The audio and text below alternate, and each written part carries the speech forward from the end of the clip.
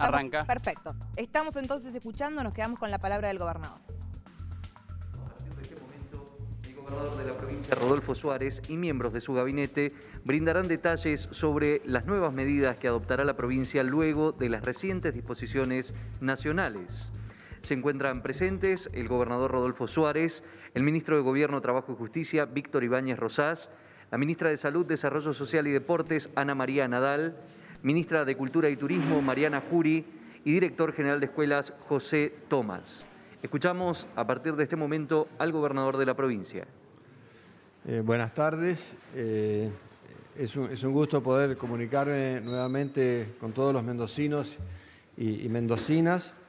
Desde el primer momento que comenzó esta situación producto de la COVID, eh, nosotros dijimos que íbamos a entrar, íbamos a salir, íbamos a ir tomando las medidas de manera tal de compatibilizar eh, tres variables que siempre tuvimos en cuenta y que, es eh, obviamente la, salud, el empleo, el trabajo, que la gente tenía que seguir manteniendo su trabajo en esta situación, y, y, y también la, la salud eh, psicológica de, de, de, las personas, ¿no? con todo lo que produce el encierro, y obviamente la respuesta del sistema sanitario con todo el equipo que, que, me, que, me, acompaña, que acá está es parte del equipo. Eh, hemos estado analizando semana a semana, día a día, siempre estas variables, monitoreando todos estos temas, con lo cual eh, eh, vamos a anunciar muchas medidas en esta conferencia de prensa que ustedes después van a poder ir ampliando durante la semana con, los ministros que, me acompañen y, con otros, porque abarca muchas áreas de, de, del gobierno. Dentro de estas variables, dentro de los 48.748 casos que tenemos de, COVID en la provincia, con los recuperados, cerca de 29.100, hay un dato importante que es la letalidad, que es la cantidad de personas fallecidas de acuerdo a aquellos que han contraído la enfermedad, que es de 1,64. Pero un dato muy importante también es el de la mortalidad. Son datos que se toman a nivel internacional y la mortalidad tiene que ver con la cantidad de personas fallecidas en cuanto a, la población y se, se, toma como medida un millón de personas. O sea, nosotros en Mendoza tenemos una mortalidad de 440 personas, 448 personas, perdón, por millón, pero si vemos la letalidad de la Argentina es de 731 personas por millón, con lo cual estamos con una mortalidad sensiblemente más baja que el resto del país. Y hago y me detengo en este tema para agradecer a todo el personal de, de, salud, porque este dato eh, no es casualidad, este dato es gracias al tremendo esfuerzo que ha hecho todo el sistema de salud, tanto público como privado de la provincia de Mendoza, de salvar a las personas, aquellas personas que ya han llegado a, situación crítica, las terapias que nunca llegaron a, colapsar, que estuvimos dando respuestas a todos los que estuvieron en situación grave, se ha salvado muchísimas personas. Así que vale mi reconocimiento a todo el personal de salud en todos sus estamentos por todo el esfuerzo que hacen, en las condiciones que lo hacen, que sabemos que no son las, las ideales, que quisiéramos, quisiéramos que tuvieran mejor sueldo, que el Estado pudiera ayudarlos muchas más, pero sí les aseguro y les digo que estamos haciendo el mayor esfuerzo que se pueda hacer eh, con, mucha austeridad en otras áreas para poder atender la, la, salud. También tenemos otro dato importante que tiene que ver con la duplicación de los casos, que estamos a 67 días, y con la ocupación de las camas, que en este momento me voy a referir solamente a las camas de UTI COVID, no de terapia en general, solamente las camas de, COVID, que estamos en un 79% de, eh, de, ocupación. Dicho esto, eh, me acompaña el director general de escuela porque vamos a, empezar en forma voluntaria y como prueba piloto a aquellos chicos de trayectorias débiles que llamamos, son los que no han tenido toda la conectividad necesaria para, las clases y, que necesitan un apoyo, trabajando en forma conjunta, lo vamos a hacer con los municipios, en, espacios eh, libres, eh, abiertos y en forma voluntaria, eh, obviamente apoyarlos en esta, en esta etapa para, para, que no queden tan atrasados para cuando el año que viene comencemos el ciclo escolar. También vamos a permitir, porque siempre hemos dicho que este es un gobierno que escucha, eh, que aquellos jóvenes de quinto, sexto año que terminan todo el ciclo desde el jardín, primaria, secundaria, en que ha terminado, y que muchos son, eh, han sido compañeros durante todo ese eh, periodo, y como decimos que nosotros también cuidamos la salud psicofísica de, los jóvenes y, de todos, vamos a permitir que se hagan las colaciones de, grado, que, con todo el protocolo estricto, que los ministros después pueden eh, explicarlos, pero, pero que se reencuentren, que terminan una etapa muy importante de, su vida.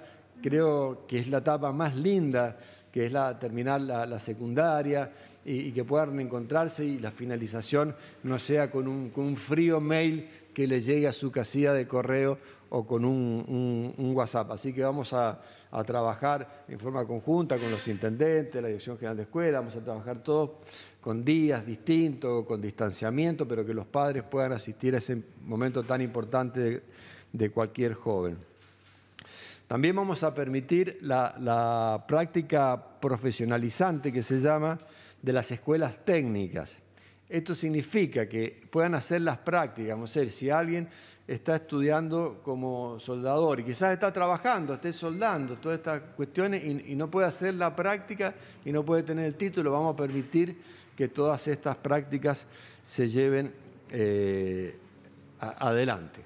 Todo esto que estoy diciendo, eh, no quiero entrar en un tecnicismo jurídico en este momento, pero lo estamos haciendo dentro de un marco que nos permite la nueva legislación, pero ustedes saben que siempre lo hacemos a las interpretaciones jurídicas de manera tal de, que sea lo más amplio posible para que la actividad se desarrolle eh, en Mendoza. Nosotros vemos las normas y cuando vemos que podemos hacer algo que no sea infringir una ley, avanzamos en todos estos temas.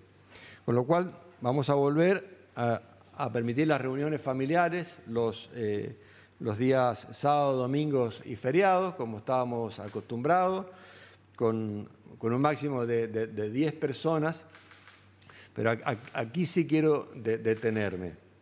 En las políticas que han dado éxitos en, el mundo, eh, hay una, nosotros lo, dijimos en el primer momento, hoy hoy lo están diciendo todos, pero nosotros siempre los dijimos que era aprender a convivir con el virus, el distanciamiento, el uso de tapaboca, el uso de alcohol, el lavado de manos, la conciencia del virus.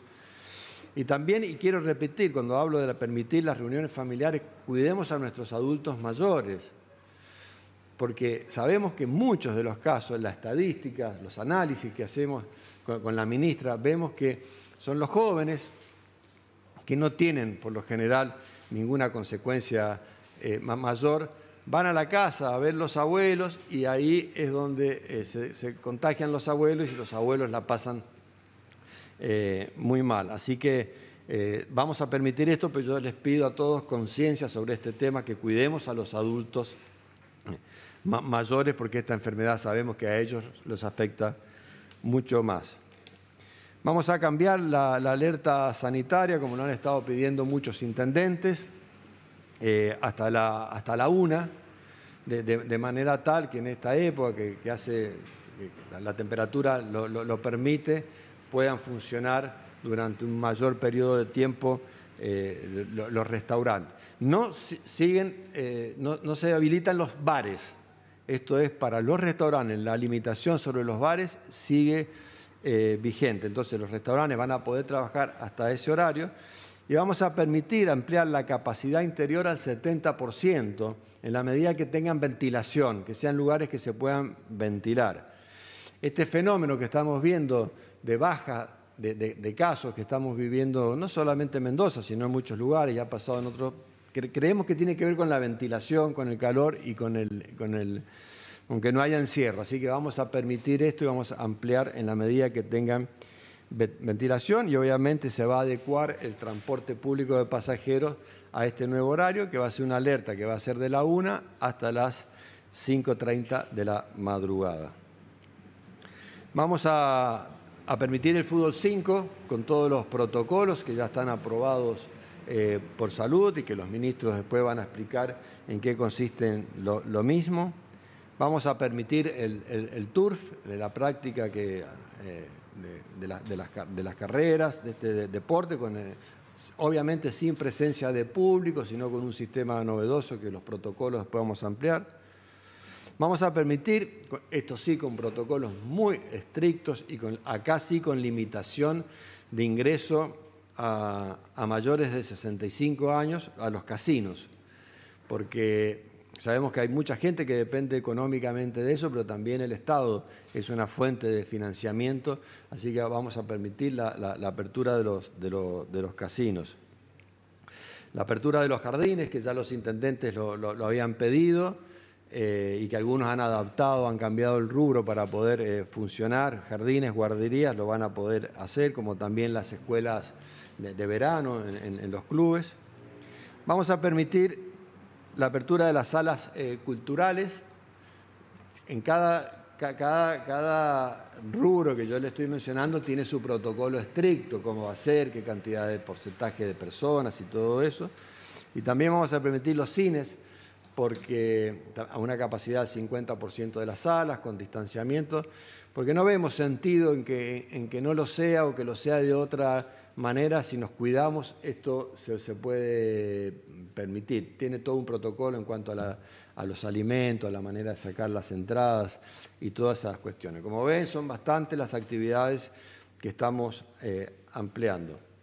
Vamos a probar nuevamente en este entrar eh, y, salir y apostando mucho más a la responsabilidad de la gente, que toda esta apertura de, actividades eh, las, hagamos sin la terminación del, DNI, que cada uno pueda moverse más allá del DNI durante los siete días de, la semana. Creo que, tiene coherencia con todo esto que estamos hablando en este momento. Y vuelvo a repetir, si esto vemos que mueve la aguja, vamos a volver a lo, del DNI. La gente se va a tener que acostumbrar porque no sabemos cuánto tiempo vamos a estar en esta situación, de ir y venir las veces que sea eh, necesaria. Vamos a abrir las áreas naturales a partir del 14 de noviembre, concretamente las siguientes áreas naturales, el Aconcagua, Cordón del Plata, Puente del Inca, Manzano, Portillo, Piuquenes, La Payunia y Divisadero. Esas se van a abrir, eso eh, hace muy bien a la gente, genera mucha, eh, mucho empleo, mucha mano de obra que trabaja en esto. Vamos a partir, van a haber protocolos. Me adelanto una pregunta, si hay acampe tiene que ser en, una carpa individual, salvo que sea un grupo eh, familiar. Eh, lo mismo va a ocurrir en los campings, que turismo va a estar habilitando en esas condiciones. La, la señora ministra de Cultura, Turismo, va, a anunciar el formato, vamos a hacer una vendimia, vamos a hacer la vendimia. Esta vendimia va a ser una vendimia virtual, va a ser una vendimia novedosa. Ella va a dar todos los detalles, pero es un tema que lo hemos trabajado juntos a los a directores de fiestas anteriores, juntos a, los artistas eh, y con toda la, comunidad cultural de Mendoza. Así que nuestra idea es que esta vendimia se vea en todo el mundo a través de un sistema que vamos a tratar de, que se replique en muchísimos eh, lugares.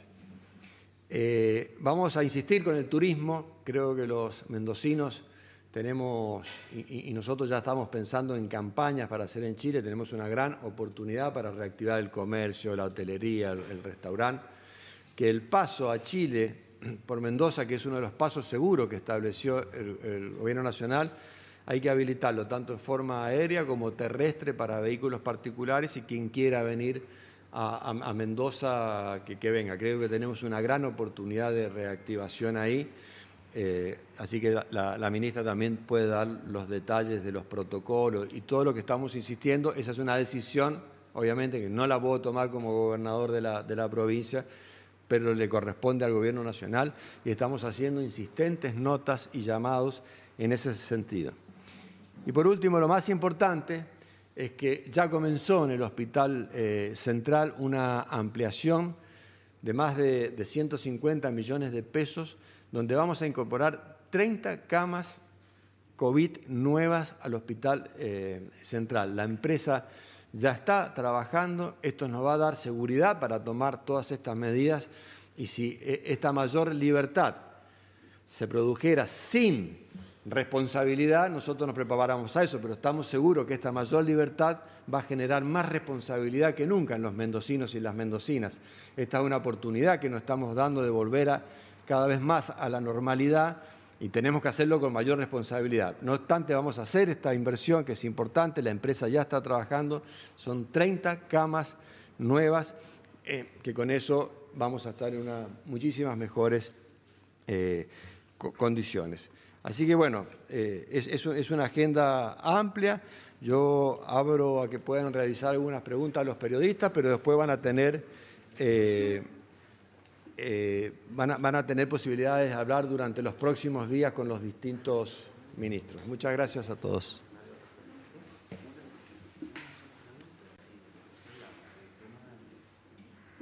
Buenas tardes, Victoria Fierro para Radio Mitre Mendoza. Mi pregunta es para el director general de escuelas, José Tomás con, esta, con este anuncio que han hecho el SUTE